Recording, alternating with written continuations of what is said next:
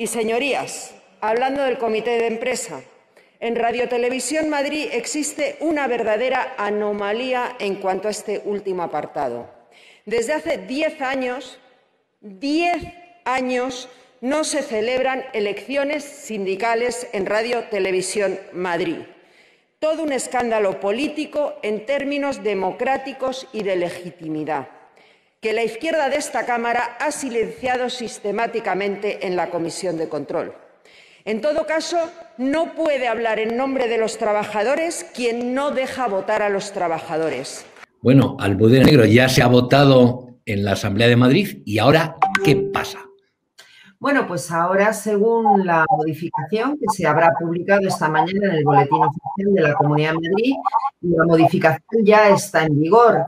¿Qué quiere decir eso? Pues que el mandato del director general pasó de 6 a 4 años, por lo tanto, el mandato del actual director general ha expirado y que el Consejo de Administración sigue los consejeros que hay actualmente, pero que cuando toque renovar, no se renovará con asociaciones, como sucedió ahora, que seguirán representadas en el Consejo Asesor de Telemadrid, sino en función de las mayorías parlamentarias de la Cámara. Porque, claro, lo que no podía ser es que dos tercios del Parlamento regional, siendo Telemadrid una empresa pública y su junta de accionistas, la Comunidad de Madrid, no estuviésemos representados en el Consejo de Administración.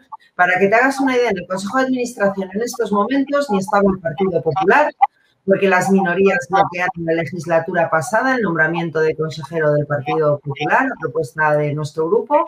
No está Vox y no está Más Madrid. Es decir, no está ni la primera ni la segunda ni la cuarta fuerza política. Una pregunta, es decir, Vox, bueno, esto ha salido, la reforma se ha aprobado en una sola lectura y con la abstención de Vox, eh, ¿qué ha dicho textualmente? Y leo, que va a tener una, que es una abstención activa y militante y que va a servir para vigilar que los populares no utilizan la corporación para sus intereses. Eso en la práctica, ¿qué significa? Bueno, eso tendrá que definirlo Vox, ni siquiera sé lo que es una abstención militante, pero en todo caso lo que les preocupa es que el Partido Popular, ellos piensan que nosotros venimos a hacer política con Telemadrid, pues les vamos a demostrar que están muy equivocados.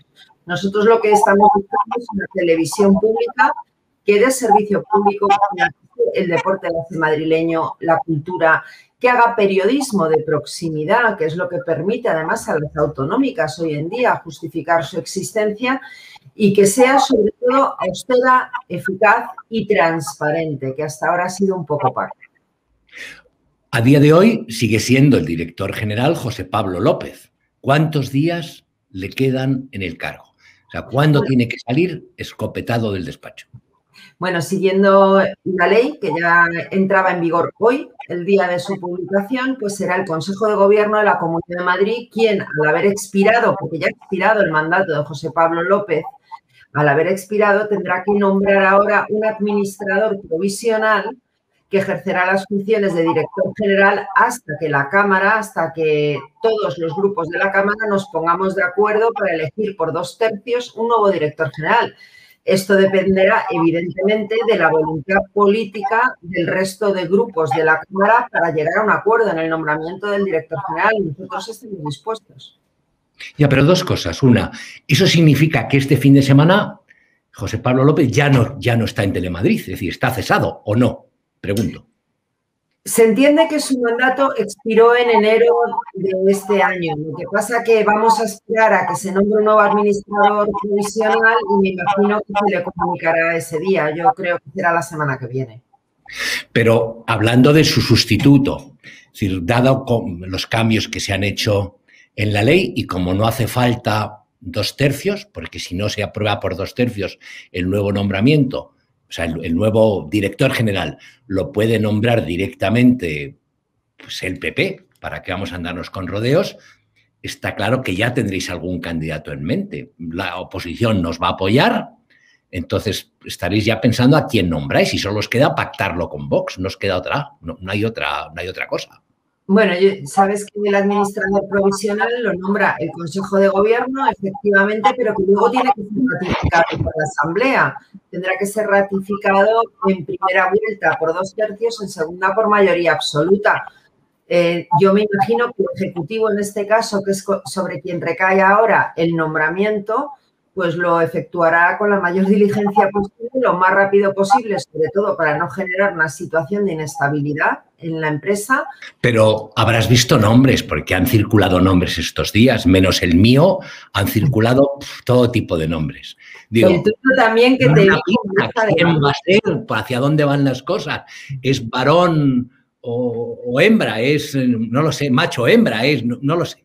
Yo lo que quiero es que sea una persona, y yo creo que este es el sentir de todo el Grupo Popular, que gestione con transparencia, que mire a ver qué ha estado pasando en Radio Televisión Madrid, sobre todo con las productoras. O sea, hay que auditar qué ha estado pasando en Radio Televisión Madrid estos años y que haga una gestión eficaz y que cuente con los magníficos profesionales de la casa que han estado apartados durante mucho tiempo. Hay una cosa que en tu intervención de ayer has dicho, que es, bueno, te preguntaste en voz alta por la externalización y pusiste el acento en que se han externalizado en esta etapa anterior de Telemadrid programas y cosas que podrían hacer los propios profesionales del medio. Traducido al castellano, al español, eso significa que muchas de las productoras o algunas de las productoras que han tenido contratos estupendos con Telemadrid, pues están ya preparando las maletas como José Pablo López, digo yo. Bueno, nosotros ya en el contrato programa que firmamos recientemente, que lo firmó el Ejecutivo, evidentemente, ya dentro del contrato programa impuso que no pudiera tener más del 16% de la programación ninguna productora, porque claro, es que lo que no puede ser Radio Televisión Madrid es el negocio de cuatro, como decía ayer la presidenta de la comunidad. Evidentemente, nosotros hoy lo he leído yo en los medios, se va a hacer una auditoría, se hará una auditoría a ver qué ha estado pasando estos años en esta casa. Y, pero Alfonso, a mí lo que más me preocupa es la programación que ha habido en Radio Televisión Madrid. O sea, Telemadrid no puede ser una televisión donde se le pagan 10 euros a una señora por pegarle un tartazo en la cara y humillarla.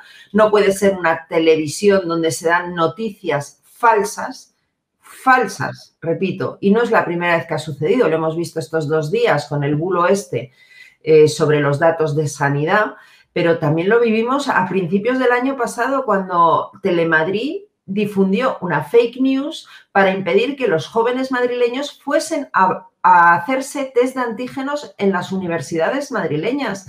Es que hasta ahora la opacidad ha sido total y a mí eso es lo que me preocupa, porque es que la gente lo tiene que saber. En Radio Televisión Madrid llevan 10 años sin celebrar elecciones sindicales. Allí hay una aristocracia sindical que tiene secuestrados a los empleados, que además luego se erigen en defensores de los trabajadores y no de defender a los trabajadores quien no deja votar a los trabajadores. Es que están sucediendo unas anomalías que yo creo que hay que empezar a poner remedio a esto.